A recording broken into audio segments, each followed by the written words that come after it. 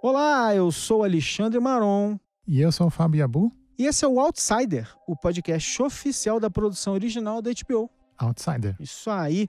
Baseado, baseado na obra de Stephen, Stephen King. King. Pois é. Então hoje nós vamos discutir especificamente o episódio 5, Tear Drinker, bebedor de lágrimas, uma coisa do tipo. A gente vai ter spoilers sobre o episódio 5, só sobre ele e, claro, sobre os anteriores, quando for necessário, mas a gente não vai revelar segredos sobre futuros episódios. E se você não leu o livro e não sabe o que vai acontecer, pode ficar tranquilo e vem com a gente, porque a gente vai falar sobre o que está acontecendo agora. Nada de futuro, nada de revelar, nada de dar uma despertinho, mas, né, comparações, né, Yabu? Eu acho que sempre que as comparações se fizerem necessárias para que a gente entenda o personagem ou entenda o caminho que a série está tomando, que já começa a se diferenciar mais Isso. do livro, eu acho que sempre vai, vale pena, vai ser né? interessante né? trazer. É sim. É legal.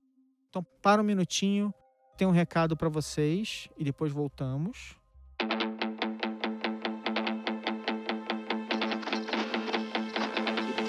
Olha, toda vez que eu revejo um filme ou então um episódio de uma série, eu descubro alguma coisinha nova, né? E mais do que nunca, essas obras modernas foram pensadas e criadas pra gente ver e rever, pra gente parar e dissecar. E o lugar perfeito para isso é a HBO Go, porque são milhares de filmes, séries exclusivas, documentários especiais. É perfeito para rever a série nova do momento e também é, os clássicos como Sex and the Sea ou Sopranos ou então se preparar para uma nova temporada maratonando as anteriores. Olha o Westworld chegando, gente. É por isso que o HBO Go é tão legal. Você pode assistir a programação da HBO em qualquer lugar, no celular, no tablet, no computador e na televisão. E quem já assina HBO só precisa o login da sua operadora local. Se você ainda não é assinante, pode assinar direto do aplicativo. Você acessa no seu computador ou então baixa na sua loja de aplicativos predileta. Bom, primeira coisa, falar um pouquinho sobre esse título, né? Tear Drinker. Né? De onde você acha que vem esse título? O bebedor de lágrimas, é. né? Um nome bem dramático. Me parece né? que tem a ver com o fato de que a Holly, a gente vai falar nisso mais daqui a pouco, mas a Holly, ela vai percebendo que esse ser que ela tá caçando, que ela acha, que ela primeiro falou que era um doppelganger e depois passou a achar que era o El Cuco, o El Coco, né? Esse ser parece que ele se diverte ou se alimenta do sofrimento das pessoas. Né? Ele se regozija do sofrimento alheio, né? Ou seja, ele comete ele os crimes. Ele se diverte com o sofrimento alheio, ele, é, ele fica, fica, feliz em ver os outros chorarem. É, ele fica ali por perto, ele fica espiando as pessoas, como se ele estivesse né, saboreando aqueles momentos. É, é. E é aquela história, né? Ele vê aquele mal se espalhando né, a tragédia se espalhando nas, nas famílias das vítimas, ele fica lá se defenestrando, né? Pois é, agora eu acho que tá, não sei se está claro, mas pelo menos a gente está com a sensação, vendo os episódios, de que ele precisa estar tá perto de alguma maneira para saborear isso, né? E de que, de alguma forma, ele ou influencia ou ele absorve à distância o que está acontecendo ali ao redor dele, né? Então acho que isso é uma coisa que parece fazer algum sentido na lógica do King Verso, né? King Verso, vamos lembrar que a gente já falou isso, King Verso porque é o universo do As Stephen obras King, do Stephen King. Com a lógica que ele foi criando, né? Mas falando sobre essa, essa relação que o nosso El Cuco barra monstro tem com as suas vítimas, né? Eu acho que ele realmente tem um, uma certa fixação pelo sofrimento, né? Porque se ele, se ele tivesse algum tipo de medo ou, ou alguma fraqueza, né? Seria lógico que ele tentasse fugir ou se afastar dos crimes, né? É. Quando, na verdade, desde o começo a gente tem visto ele meio que provocando a polícia, né? É. Principalmente o, o Ralph, né? Nos momentos que ele é filmado, você vê que ele chega a mostrar o dedo pra câmera. É. Né? O cara tá ali, né? Mas ao mesmo tempo, ele tá dizendo para eles pararem, né? É uma coisa meio ambígua, né? Porque parece que ele quer causar o maior dano possível e ele quer assistir esse dano sendo causado, que aliás é um comportamento clássico de serial killer, né? Essas provocações. Então, assim, é engraçado porque é um serial killer, mas ao mesmo tempo parece ser um serial killer com algo mais. Né? Mitológico, né? né? É. Mas ele provoca, só que parece que quando a, a polícia realmente investiga os casos, ele não, ele, ele não quer brincar mais, não. Ele já começa a... Eu acho que é uma coisa meio de ego dele também, sabe? Ele se sente talvez ferido porque obviamente a gente já percebeu que ele é uma criatura sobrenatural, né, que não é, é é o que tem parecido, né? Uhum, uhum. Não é pelo menos o nosso nosso espectro visual das coisas que a gente conhece, das coisas que a gente já viu pela ciência, apesar de que, né, de novo, ele ele usa, ele deixa pegadas muito reais, É. né, como DNA, digitais, etc. Mas ao mesmo tempo ele tem outro, todo um outro lado que a gente não entende ainda. É. né? Então eu apostaria que ele tem uma questão aí de ego, Aham. né? Que ele gosta de se mostrar, ele gosta de mostrar e também sentir o sofrimento, beber esse sofrimento, essas lágrimas, Aham. né? Mas ao mesmo tempo ele não quer que mexa com ele, talvez porque ele nos considere seres inferiores, né? Que a- até então, pelo menos do ponto de vista de habilidades físicas, é o que me parece. É, a gente parece que é tipo alimento só, né?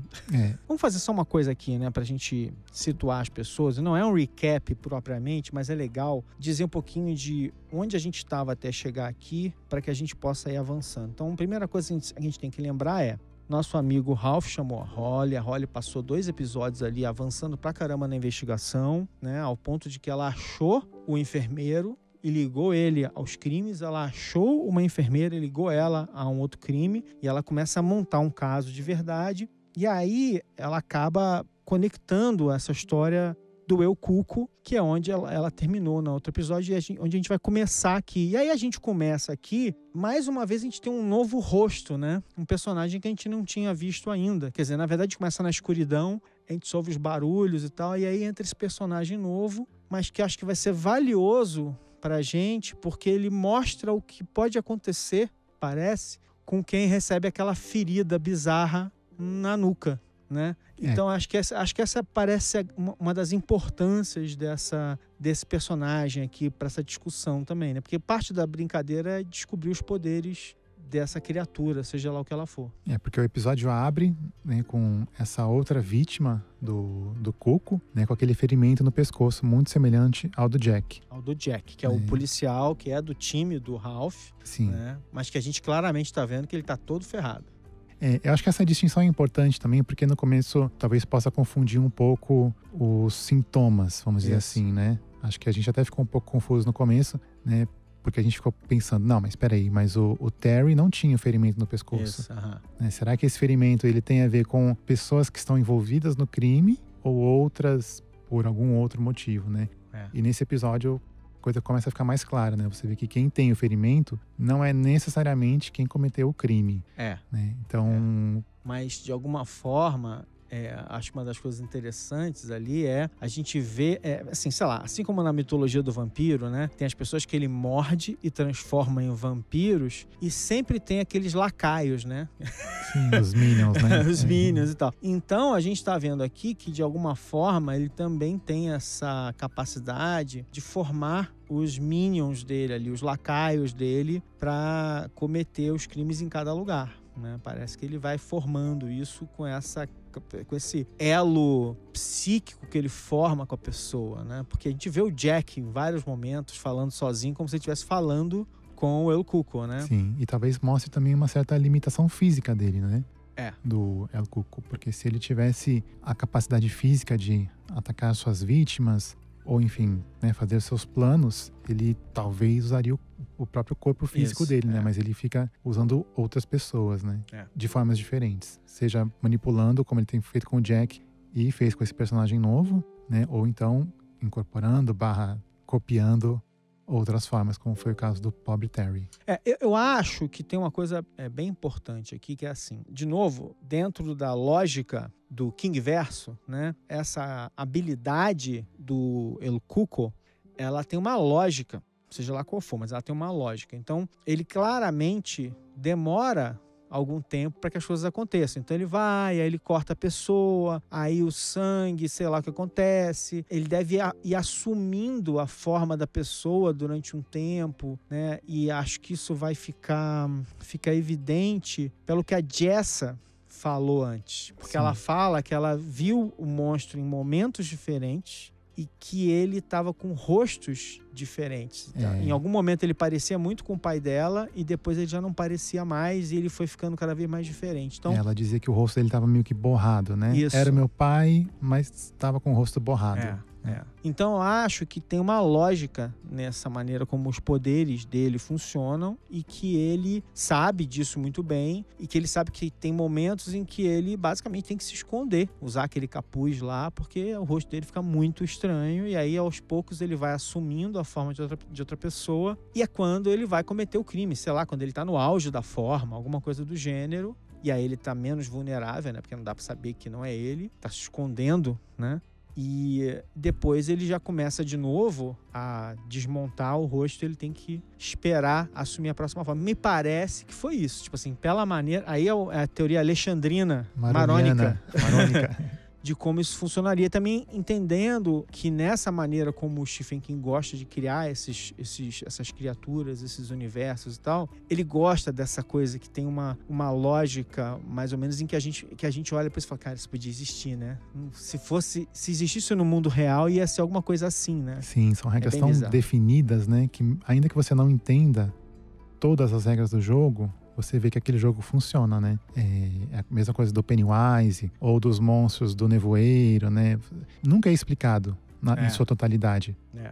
Mas você entende, sabe? É. acho que isso é o, é o mais legal desse, dos monstros do King Verso, né? É. Voltando aqui então, pra gente passar pela história, quer dizer, o personagem de hoje que está introduzido, de alguma maneira, parece ser um parente ou, ou, amigo, alguma tem alguma ligação com o Riff, né, que é o enfermeiro que a gente, que era o enfermeiro que supostamente arranhou o, o, o Terry e aí a partir daí o Terry se envolveu nessa história toda. Então o Riff morreu, ela vai investigar a história dele, descobre outra enfermeira, e aqui aparece esse cara, e esse cara tava na casa do, do amigo dele lá, varrendo, porque afinal de contas a mãe do, do Riff também morreu, né? A gente viu isso também. E esse cara parece estar meio que se sentindo culpado, né? É uma cena de culpa, né? Ele arrumando as coisas e deixando as coisas e tal. E aí esse cara, a gente volta três dias no passado, a gente vai, parece que vai ver a convergência, né, dele com a história da Holly. Então acho que é basicamente isso. E eu acho que é ele esse personagem acaba sendo crucial para ela entender várias coisas sobre essa criatura, como por exemplo essa ideia de que as pessoas ao redor também podem ser afetadas de alguma maneira, né? Sim, eu acho que a cena de abertura desse episódio talvez para mim seja simbolicamente talvez a melhor,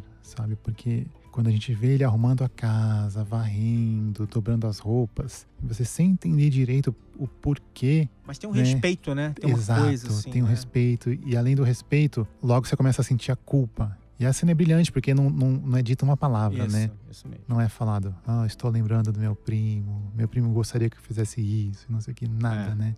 Não tem exposição. Você sente, chama, não tem né? exposição, né? exato. Você exposição, sente. queridos ouvintes. Exposição, quando a gente fala sobre exposição, é quando num roteiro o personagem precisa dizer o que está acontecendo para te explicar, porque por algum motivo eles não conseguem materializar isso na história, né? Sim. Precisa pegar na mão do público e conduzir, é. né? E acho que isso é legal também nessa série. Eles não dão folga pra gente, né? Não tem concessão. É, tem né? várias cenas que você fica olhando e fala assim, não, não entendi direito o que aconteceu ainda, Sim. né? Você, você vai entender depois ou se você revir o episódio, né? No HBO, HBO Go. é. Bom, pessoal, segura esse suspense aí que o Marão tem um recado para vocês.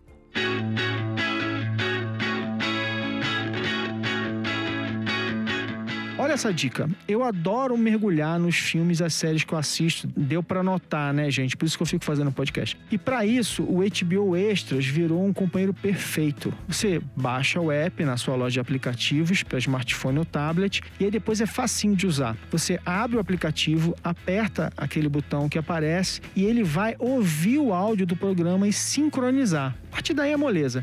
Você vê a cena na TV, e vão surgindo diversas curiosidades no seu smartphone. E o Extras, ele traz detalhes escondidos e também uma coisa que eu acho primordial. Identifica diversas das músicas que você ouve e fica ali tentando descobrir de quem são. E pensa bem, é perfeito para usar com HBO Go. Depois de ver o programa pela primeira vez e curtir normalmente, você vai lá, e assiste de novo, só que agora com os extras ligados. Eu faço isso direto. Beijo.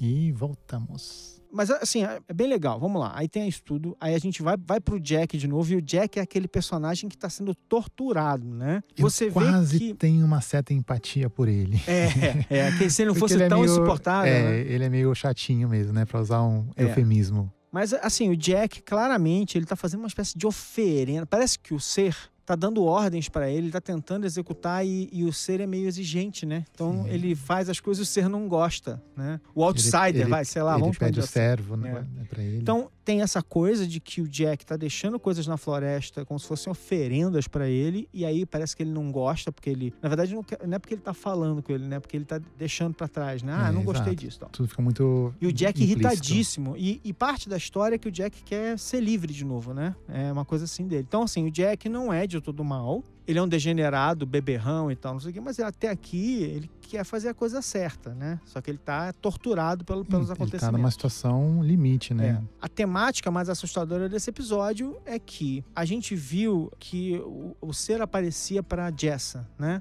E aqui ele começa a abrir um pouco o raio de ação dele, né? Pôr as manguinhas de fora. Pois né? é. Então, assim, essa coisa. E eu adoro esse jeito do, de contar a história, porque a gente fica um tempo sem saber direito se é um susto gratuito ou se realmente alguma coisa está acontecendo, né? Então é legal porque até os sustos gratuitos começam a valer alguma coisa, porque você a história ela te deixa um pouco desorientado, né? Então quando a, a Ginny, que é a esposa do, do Ralph, ela parece tipo uma assistente social, né? Algo do gênero. Quando a Ginny começa a ver um cara com um capuz e ela acha aquilo estranho, né? E aí tem aquela, aquele primeiro momento em que ela vai lá tocar no cara e é um cara, é um sem teto dormindo. É, primeiro ela pede para todo mundo que tá com capuz é. tirar, né? Que ela fica claramente incomodada com aquela presença. Isso. Né? É. E aí tem outro personagem com capuz também, ele tira. Isso. É, você lembra que naquela cena eu falei assim, ah, que susto vagabundo, pô, que droga, né? Eu fiquei assim, tipo, irritado. Mas fica claro que aquilo é uma forma de desorientar você. Você não sabe quando é e quando não é. Mas né? talvez ainda tenha a possibilidade dele realmente ser o Cuco, hum, o claro, outsider, claro. o forasteiro. Né? Mas ele já tá em outra forma. É, a não, gente não exatamente. sabe. Não, mas o, legal é isso. Porque, porque, na hora que aconteceu, eu falei, ah, não, vá.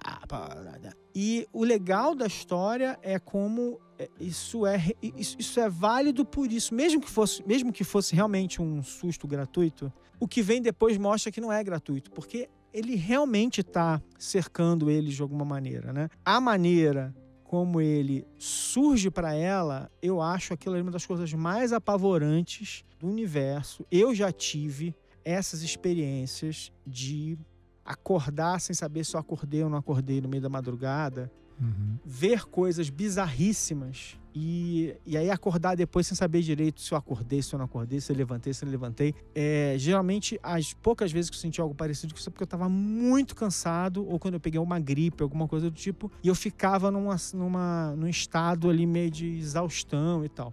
Então, quando eu vejo aquilo, eu consigo reviver isso e falar assim, cara, que sensação horrível, horrível, né? Você acorda de noite, parece que tem uma presença. Bom, você sabe, de repente tinha uma presença no meu quarto mesmo, né? E você começa a a, ver alguma coisa estranha e ficar assustado e um medo que ocupa você, você fica tomado. Enfim, eu posso falar por mim, não posso falar por vocês, cada um com as suas experiências. Mas por que, que você não conta um desses episódios para nossa audiência? Não, então, tô contando agora, eu já tive isso, já passei por isso, já passei. Teve um momento que eu tava viajando uh, viajando, não, tava morando uh, em outra cidade, fora do país, estava sozinho mesmo. Então eu tava um frio desesperador, eu tava meio resfriado e tal. E eu já tive isso antes, mas esse dia foi o que eu mais me lembro. Toda vez que eu me lembro desse tipo de coisa, eu lembro disso. Eu lembro de acordar no meio da madrugada, mas sem saber se eu estava realmente acordando, se era um sonho. E eu e tinha alguém no meu quarto, tinha uma voz estranha, e eu ficava. Oh. E eu ficava tentando acordar e tal. E aí a segunda coisa que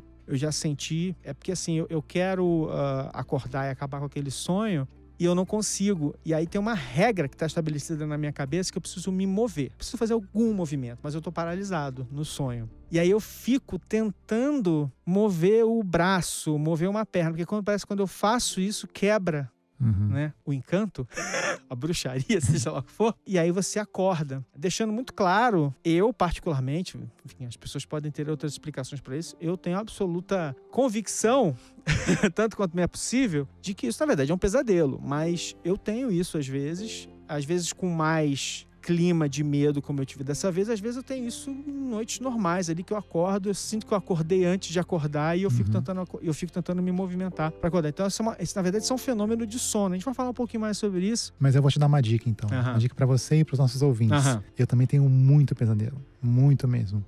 Sei lá, diria que uma vez por semana eu ac- acordava. Para de É. comer feijoada antes de dormir, Abu. E olha que eu não como muito carboidrato à noite ainda, hein? Mas enfim. E por muitos anos, aliás, eu tive pesadelos e recentemente, de uns dois anos pra cá, eu tenho controlado isso. Jura? Como foi? Como? Aí eu vou te dar a dica. Ah. Durante o sonho, durante, assim, quando você estiver numa situação que você não sabe se você tá sonhando ou se você tá acordado, você lembra de olhar pra sua mão e contar quantos dedos tem. Ah. Porque se você estiver eu não sonhando, sei. Olha, eu vou te falar uma coisa com toda sinceridade. Eu não sei se isso é uma boa ideia ou se eu vou ficar mais assustado né, se eu olhar pra minha porque o certo, entre aspas, se você estiver sonhando, você não consegue contar. Ah, A primeira vez você olha, você vai contar, mesmo que você veja, não vai ser nenhuma imagem assustadora. aham, Mas se você vir três dedos, tipo, você fala, peraí, deixa eu contar de novo. Aí você vai contar quatro. Depois você vai contar seis. Por quê? Porque o, o lado lógico do seu cérebro, de é, matemático do seu cérebro, está desligado durante o sono. Aham. Então você não consegue nem contar e nem ler placas e, e capas de livros, por exemplo. Hum. Né? Eu sonho muito com livro. Ou com, ou com textos. Aham. E quando eu vejo que eu não consigo ler, aí eu percebo que eu tô sonhando, aí eu acordo. Ah. Fica a dica. Fica a dica. Espero que funcione. Como fugir do El Cuco nos seus Ah, pesadelos. Entendi. Olhe pra sua mão. Ah. Mas então a Jeannie vê o cara, ela volta pra casa incomodada, ela vai dormir, o Ralph também tá em casa, ele vai dormir, e aquela situação opressora de que ela acorda, ela vê uma presença na sala. A gente não sabe se ela viu realmente. Isso é uma coisa legal que não está muito bem explicada ainda sobre como funciona. Se ele está, de alguma maneira, do lado de fora da casa, fazendo ela enxergar aquilo, se ele realmente está na sala. Mas ela, ela realmente estava na sala, porque ela machuca o pé. Sim, porque ela Né? leva o copo Ela d'água, pisou no vidro. ela derruba o copo, né? É. De tão assustada que ela fica e acaba pisando num caco, né? Se não fosse essa cena ou esse Podia ter esse sido só um ato- pesadelo, né? Exato. Eu poderia até dizer que foi um pesadelo, alguma Isso. coisa da cabeça dela. Mas a gente tem uma evidência física de que aquele encontro ocorreu. Isso. E ele diz pra ela assim: manda ele parar. Não dá pra entender muito bem o que ele tá dizendo, mas ele diz: manda ele parar. Aí ela fala parar, porque ele, né, tá sem. Aí ele fala uma coisa parecida com ou você ou vocês, Vocês vão dois, morrer, é, porque vocês you, né, morrer. pode ser em inglês, pode ser. Então ele, ele fala, you both die. É. E aí depois ela fala que não entende e ele responde de novo, tipo assim, ele fala: vocês vão morrer e tal. É. Né? E aí ela acorda depois de manhã, quando ele vai acordar ela, porque ele, ele vai lá falar com ela, vê que ela tá machucada e tal, não sei o quê. E é até interessante que nos primeiros momentos parece que ela não, não lembrou imediatamente de tudo, né? Ela acorda meio É, ela desorientada. tá meio que reconstruindo aquilo na É. cabeça dela, né? tanto que ela não lembra de ter cortado o pé, né? E, e aquele sonho acho que vai voltando pra ela, né? É meio que ao contrário do que acontece com a gente, né? É. A gente vai esquecendo o sonho e ela vai lembrando durante o dia. E ela vai aos poucos construindo a história e falando pra ele: pô, vamos parar com essa investigação, que eu não tô gostando do rumo dessa prosa, não sei o quê. E ela vai tentando convencer ele, mas eu achei engraçado que no início eu falei assim: pô, será que ela não vai contar pra ele? Porque apesar deles estarem vivendo um inferno pessoal, né, por causa da morte do filho, eles parecem ter uma relação legal. Ela parece, ela parece ter uma ligação bacana com ele. Eles parecem ser, ser honestos entre si e tal. E ela realmente depois ela vai ser muito direta e muito aberta com ele e vai contar o que ela pensa e tudo mais. Eu gostei disso, assim. Eu gostei. Eu tô gostando dessa personagem. Achei É, eu gosto de- personagem legal. Eu gosto dessa dinâmica deles, em que ela, ainda que ela não seja da polícia, né? Ela ajuda na, na investigação, né? Ela vai lá e conversa com a Glory, conversa com as crianças. É uma personagem bem ativa. É. Bom, e o Jack, como eu falei, assim, é aquela presença bizarra, porque ele tá vigiando as pessoas, ele tá cercando eles e tal, não sei o quê. O Ralph e o Howard, né? O Howard, vamos lembrar, o advogado e tal, estão lá discutindo porque eles chamaram a Holly para ajudar e agora estão tentando definir o que fazer a seguir, né? Eles querem conversar com a Holly sobre o que tá acontecendo, querem que ela diga mais e tal. E a Holly, do lado dela lá, é- tem uma coisa bem interessante que eu acho que é uma coisa bem legal. Ela tá numa cena que ela tá com, num bar, né, com uma bartender, Uhum. e ela tá meio que conversando com a bartender, mas ela tá conversando com a gente, né? Porque ela tá Sim. meio que organizando os pensamentos, né? Aí ela começa a falar que ele claramente quer ver o sofrimento das vítimas. E aí a bartender meio que vira uma amiga dela ali e fala: Não, eu te levo ali, né? Vou te levar onde você precisar e tal, porque. Rola até tá uma certa cidade." tensão sexual É, entre as duas, é. né? E talvez até a bartender tenha entendido dessa maneira quando a Holly a convida para sair, né? Mas na verdade a Holly só queria que ela desse né, a volta pela cidade para que ela pudesse É, investigar e aí o crime. é bem interessante, porque aí assim, ela vai na casa do enfermeiro, né, do Hofstetter,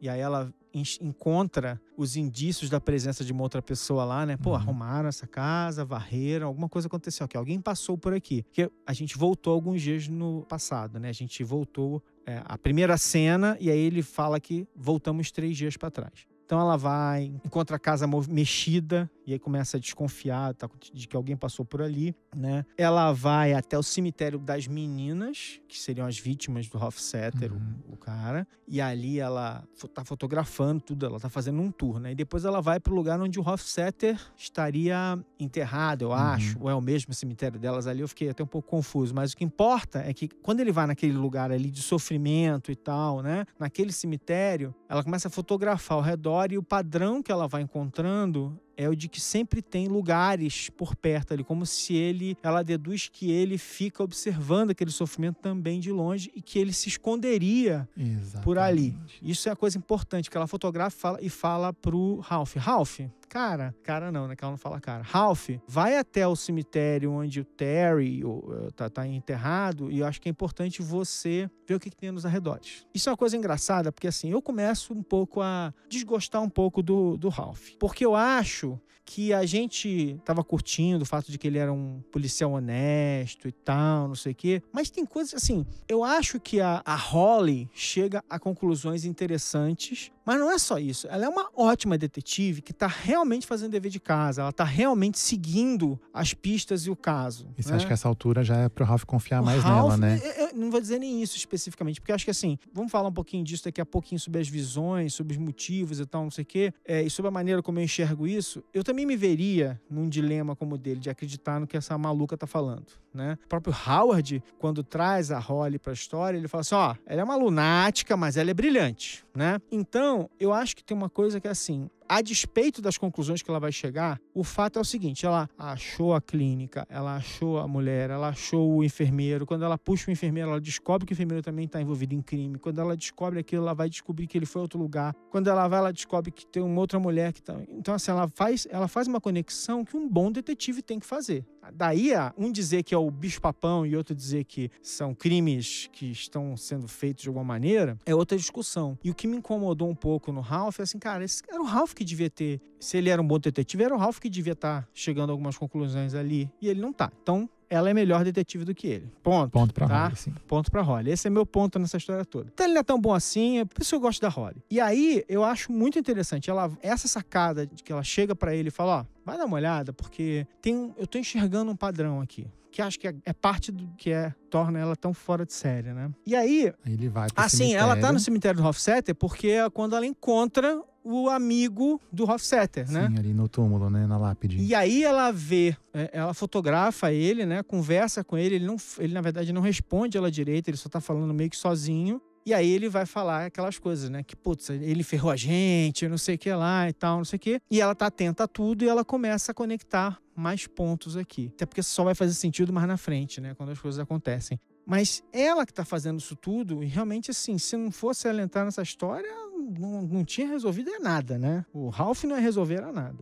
E coitado do Terry, né? I- Ia morrer culpado. Aí o Ralph e o Yunis, que é o cara do GBI lá, estão juntos e vão e ele vai lá no cemitério ver o que aconteceu. Claro que ele aí ele pede pra comunicar a mulher do Terry, né, a Gloria, aquela coisa toda. Muito ético, Ralph, né? Mas imagina a situação, né? É, não, claro. Que é uma, uma cena super desconfortável, né? Ele, ela tá lá, né, prestando respeito ao, ao marido dela e chega o, o Ralph tirando foto do túmulo, foto do cemitério, dos arredores. Não, né? bizarríssimo. É. Eu confesso pra você que eu imaginava alguma coisa, mas não imaginava que, o que acontece ali, que é ele pegar, começa a tirar foto e de repente o Yunus lá pega e fala assim: Cara, é o celeiro. então é uma coisa assim. Eu acho que uma das coisas legais daqui de novo, prestem atenção nisso, assim, é uma série em que você realmente consegue seguir as pistas. As pistas estão lá, elas estão na sua frente. Você consegue entender o que, o que os personagens estão fazendo. Sim, é um padrão estão- muito bem definido, né? Da vítima, do, do sofrimento, É. dos lugares físicos onde ele atua, das evidências físicas que ele deixa Isso. também. Isso. Tudo faz algum sentido, quer dizer, o Stephen King realmente é, é metódico nisso. E aí eu acho que a gente vai de novo, né? Aqui eu ainda fico assim, cara, mas o Jack é muito chato, né? O Jack é um, é um, é um, é um personagem é, insuportável e tal. E isso vai ficando mais claro porque eles têm um círculo de amigos, né? Aí tá o Jack lá, a Tamika, que é a, moça que, é, que tava grávida, que teve neném, tomou aquele tiro na perna. Eles estão todos juntos. Aí você vai vendo que o Jack não pode ser realmente confiável, porque quando o Ralph aperta ele um pouco, ele, ele tenta fugir pela tangente o tempo Uhum. todo, né? Porque o Jack, quando foi atacado, foi naquele celeiro. Então eu já não sei, às vezes, se ele tá tentando proteger as pessoas porque elas não passem pelo que ele tá passando, ele só tá querendo limpar a barra dele. Mas, de certa forma, eu também percebo uma certa responsabilização do Ralph, sabe? Porque, se você lembra bem, o Jack estava de férias, lá pescando, né, na floresta, de boas, quando o Ralph interrompeu as férias dele Isso. e falou: vai investigar esse negócio no celeiro. É. E aí foi o momento decisivo na vida dele em que tudo, Tudo desmoronou. desabou. É, pois é, piorou. É, mas de qualquer maneira, eu acho que a, a cena seguinte, que é quando ela vem com a criança e ele não quer pegar a criança, mostra que ele não confia nele mesmo e que ele É, se importa com as pessoas Ainda ao fica redor um dele. pinguinho de humanidade nele, É, né? Acho que é. daí que vem a minha empatia por ele ainda. Pois é. Você é uma pessoa boa. tá se estabelecendo aqui que a, a Holly e o Ralph vão se encontrar, né? Ela tá se preparando aqui a um encontro que a gente não vê nesse episódio ainda, né? Para desespero geral. E nessa preparação que a gente tá vendo, a gente sabe que de alguma maneira, em algum ponto, a gente vai encontrar com a cena inicial, né? Que é a cena da morte do, do, do cara que ela encontrou no cemitério. E aí, assim, a gente vai vendo a Holly juntando as peças, né? Então ela vai reencontrar o Andy, né? Que é o, que é o segurança, segurança. Do, do shopping center. Ela vai reencontrar o Andy. a- o amorzinho deles está se desenvolvendo, é uma coisa afetuosa, né? Quase platônica. Eu acho que essa, É. essa é uma, uma característica muito legal da Holly, né? Porque ela é uma personagem super fria, assim, no sentido de que ela é, é pontual, né? Metódica, vai atrás das pistas e, e vem com as teorias mais malucas e tal. Ela tá em algum espectro do autismo, que a gente não sabe, não, não tá explicitado, mas no livro e nas aparições dela literárias isso é muito claro, né? é explícito na série nem tanto, mas a gente sabe que ela tá lá, né? Mas ainda assim eles trazem esse, esse lado mais tenro dela, né? É quase que juvenil até, o É. jeito que ela olha pro Andy, É. né? Aquele beijinho que eles dão, é uma coisa muito quase Dawson's Creek. Mas, mas eu acho que tem uma coisa bem legal, porque assim, acho que sempre é difícil, quando você constrói esses personagens, é muito difícil retratar personagens que escondem o rosto ou que escondem os sentimentos, porque o ator, ele precisa construir, ou às vezes ele tem uma barreira física, que é uma máscara, por exemplo, tal, não sei o quê, mas ele precisa construir também essa barreira para chegar e aquilo tem que estar visível na atuação dele, né? É um desafio para qualquer ator. Então, quando você cria, por exemplo, um personagem que é nesse nível nebuloso, né? Está no espectro do autismo e é nebuloso o suficiente para você também poder quebrar algumas regras, mas, mas também é algo que você fica sempre, tá, mas o que que ela está fazendo? E aí uma das coisas que as pessoas não entendem sobre quem vive isso e é difícil mesmo, é que não é que essas pessoas não sentem nada, elas sentem sim, elas têm uma dificuldade de conectar as ações delas, as reações delas ao que elas estão sentindo e de demonstrar isso. Então elas sentem alegria, tristeza, sentem medo, sentem tudo igualzinho Amor. mas tem uma dificuldade de mostrar. Então acho que é muito interessante porque a saída da Holly para isso e, pra, e de várias pessoas que passam por isso é verbalizar de uma forma quase pragmática, né? Então não vai embora não, fica aqui e deita comigo. É claro que o que ela precisa é afeto, Sim. né? Mas aquilo tá construído de uma maneira muito legal, porque ela chega e fala assim: fica comigo, quero ficar junto com você. É, Né? Nossa, é maravilhoso. É muito né? legal, né? É muito bem construído, de novo, uma atriz ótima, né? A Cynthia Erivo e tal. E aí vai se construindo toda essa situação em que a Holly, ela tá indo embora, né? Ela fala com o Ralph que ela vai encontrar com ele, ela conversa com o Andy sobre o caso, né? E ele vai começar a dar um monte de boas sacadas. O Andy também não é nada bobo. É engraçada essa dinâmica dos dois, né? Porque o Andy é um personagem bem é, secundário né, nessa história, mas ele, se a gente for brincar com os arquétipos das histórias de detetives, né? É como se a Holly fosse Sherlock Isso, e o Andy fosse o Watson. isso, isso. Né? Ele vai dando aqueles pitacos É. pontuais e que vai gerando né, aquelas faíscas, aquelas ele, fagulhas é na bem, cabeça ele, dela. e ele, é- e ele é bem inteligente, né? Ele foge do arquétipo, porque geralmente quando você põe um cara que é um segurança de shopping, Sim, é um cara Ah, engraçadão, quer grosseiro, né? Sim. E ele é um. Eu acho muito legal quando ela pega e, por exemplo, ela fala: Eu fui na casa do fulano e a casa estava toda arrumada e tal, não sei o quê. E ela começa a contar aquela história toda para explicar por que, que ela enxergou a culpa, né? Uhum. Ele saca imediatamente o que ela quer dizer. Ele. Obviamente ele deve ter sido policial, né? Ele foi policial antes, provavelmente, porque a maneira como ele pensa é muito também precisa e tal. É legal, essa relação que está sendo construída, ele é um cara legal, né? É, claramente, ele consegue entender ela de alguma maneira, né? Ele, ele, eles se entendem, né? Ele tem um carinho por ela bem legal e tal. E eu gosto do, do, do que vem a seguir, né? Que aí vai se construir toda aquela cena e essa culpa da qual ela falou, que ela é um caso bem interessante em que a culpa não precisa estar materializada em tudo que ele faz claramente. E ela ajuda a gente a entender aqueles acontecimentos, porque o que ele faz é tão incompreensível Uhum. que parece que ele quer se punir, né? Parece que ele faz tudo para se punir, né? Então, esses acontecimentos estão aqui e acho que assim, a parte mais importante desse episódio parece que são essas visões bizarras, né? Então, a gente podia falar um pouquinho, antes de fechar o episódio de hoje, sobre essa história de visões. Porque, vamos lá, a Ginny enxerga o nosso, a nossa, o, o Cuco. O El Cuco. A gente não sabe quando é ele, quando não é, se ele tá lá, se ele não tá, mas ela enxerga ele na sala dela, é, enfim No consultório. à noite, enxerga no consultório e tal. A Jessa viu o Eu Cuco ao ponto de que ela conta a história e elas conseguem reconstruir, né? O menino que roubou a van O menino Né? que roubou a van viu o Eu Cuco. viu. E a cena final desse episódio é o Ralph vendo o filho. O e- Derek. Tum, tum, O tum. Derek, é. vendo o filho. E é uma coisa assim. Não sei direito. Assim, eu chutaria que é o El Cuco pegando alguma peça nele, ou que ele simplesmente deve sonhar com o filho de tempos em tempos e tal. Mas isso não fica claro. Acaba o episódio e você fica naquela. Putz, né? Então esses personagens estão tocados ali por essa situação toda bizarra, né? E aí eu acho que uma coisa que vai irritando um pouco na postura do Ralph, e eu acho que eu seria o Ralph facilmente nessa história, porque eu ia ser o chato que ia ficar tentando explicar tudo. Eu acho que é por isso que você tem raiva dele. Porque você faz uma projeção, né? Eu acho que sim, e eu acho que assim, quando a gente vê uma série dessa, não importa o que a gente ache sobre o mundo, a série tem um, ela é um mundo por si só e ela tem a lógica Uhum. dela. E como a gente entende a lógica melhor do que os personagens, né? Porque pra nós o sobrenatural está estabelecido, né? Alguma coisa fora de série tá acontecendo aqui. Então quando a gente vê o personagem esbarrando naquilo e não querendo enxergar, que é absolutamente compreensível, Sim, você é o cara que fica, que fica no cinema falando, aí, atrás de você, olha. Pois é. É, ma- mas vai dando uma- um incômodo, né? Porque a gente está com a Holly, a gente está vendo, a gente está vendo que É, tem alguma tem coisa peças que o- acontecendo. que o e ele não, não tem. tem, Exatamente. Então, é, é muito interessante, porque existe toda um processo, né? Quer dizer, quando um pesquisador vai lidar com essas situações sobrenaturais, eles têm um monte, já tem toda uma, uma série de, de conceitos estabelecidos sobre como a mente humana funciona para tentar explicar.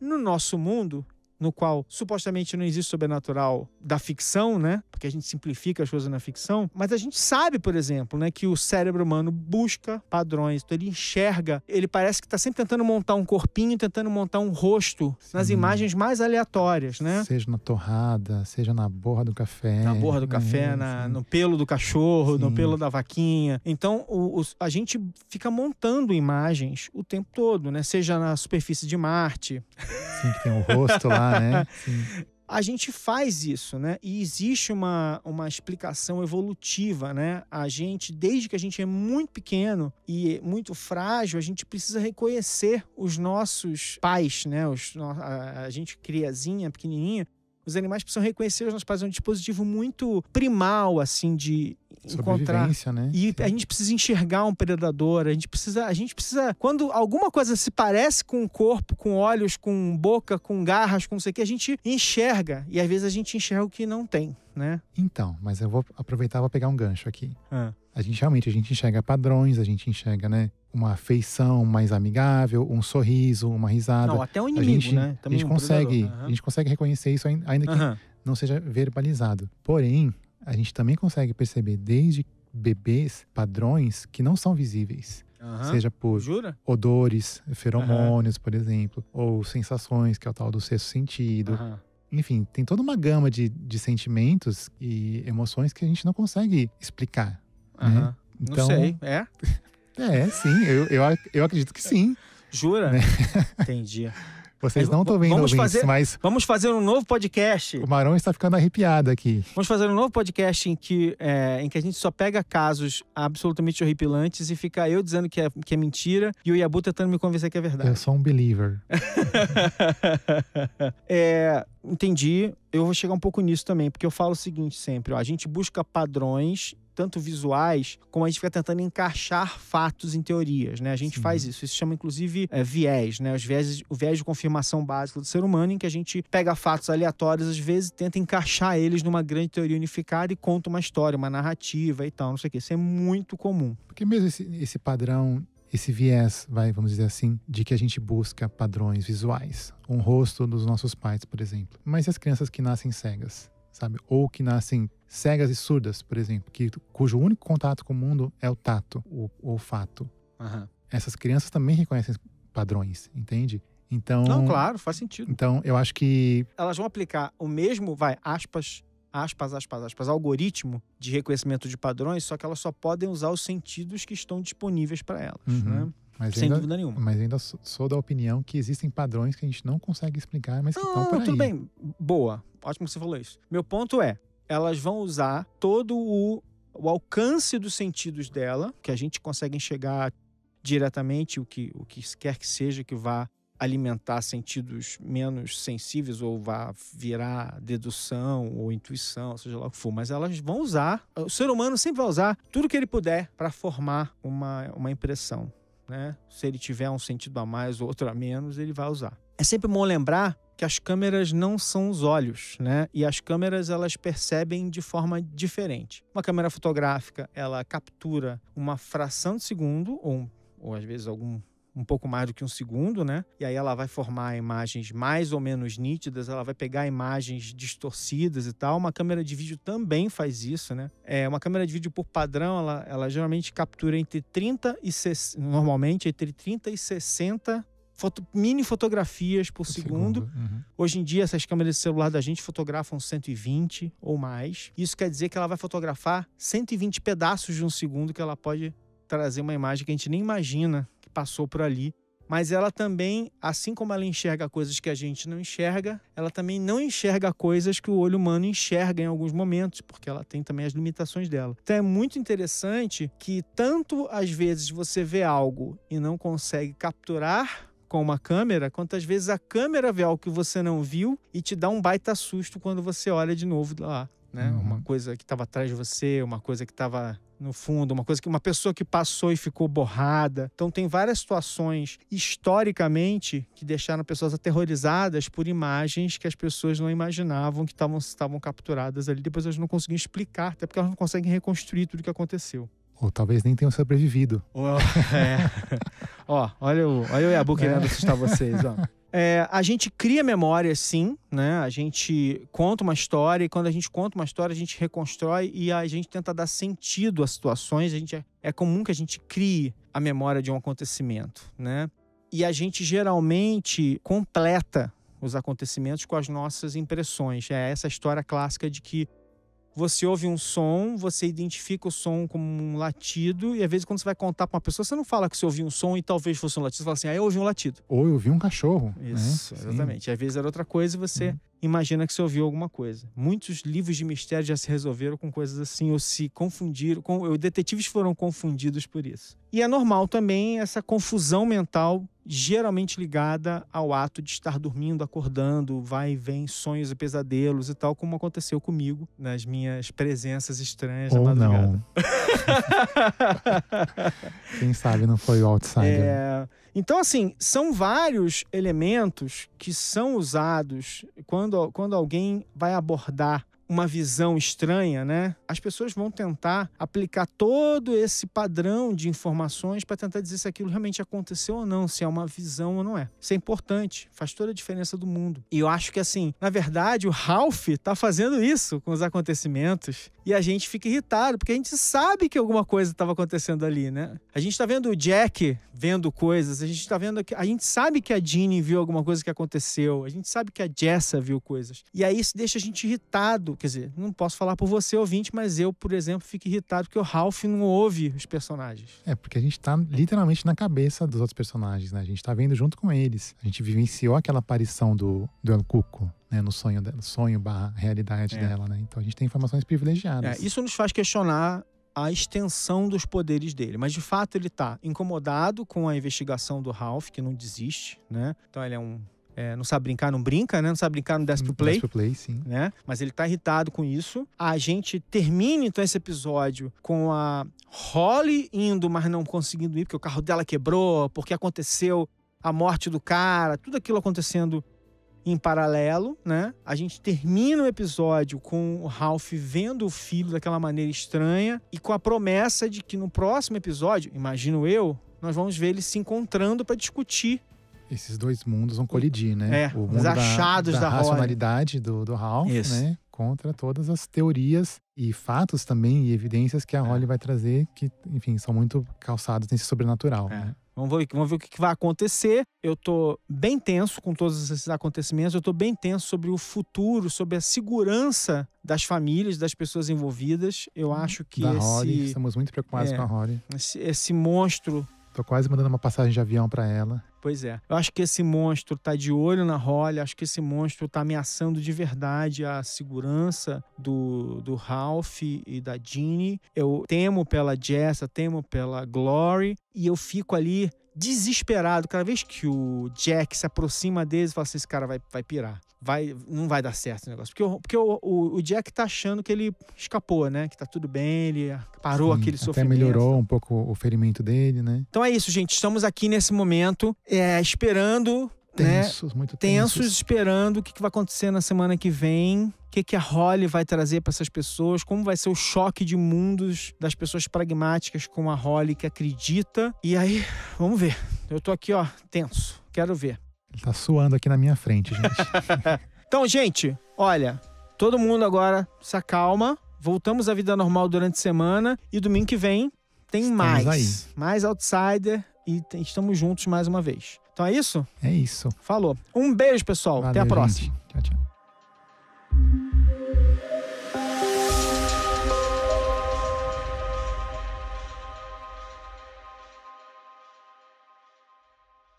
Você acabou de ouvir o podcast oficial da série da HBO Outsider, escrito, dirigido e apresentado por Alexandre Maron e Fábio Yabu, produzido por Guilherme Pinheiro, editado por Jéssica Correia, e é uma produção da Ampere e da HBO.